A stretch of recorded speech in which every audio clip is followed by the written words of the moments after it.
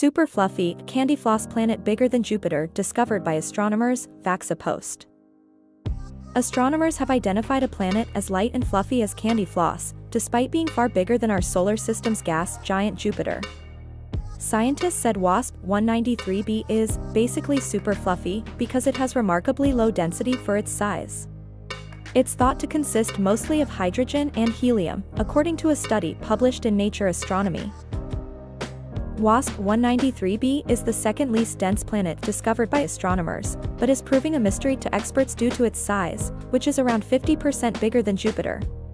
The planet is basically super fluffy because it's made mostly of light gases rather than solids, according to lead author Khalid Barkaoui of the Massachusetts Institute of Technology, MIT. More observational work will need to be carried out before astronomers can answer all the questions posed by its fluffy existence. Scientists said WASP 193b, which some experts believe is so light it could float on water, is ideal for studying the formation and evolution of planets. The existence of the exoplanet, those beyond our solar system, was confirmed last year, but it took extra time and work to determine its consistency based on observations from ground telescopes.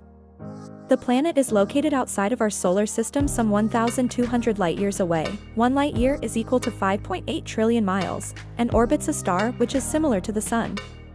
It is thought the heat from its nearby Sun, which it orbits a little over every six days, could be making its atmosphere inflate.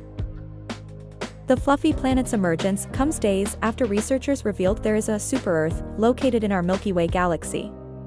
The rocky world, called 55 Cancri e or Janssen, is situated around 41 light-years from Earth and has a diameter of around twice that of our planet.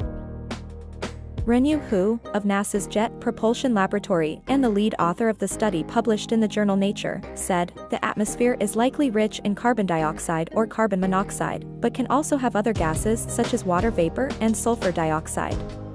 The current observations cannot pinpoint the exact atmospheric composition.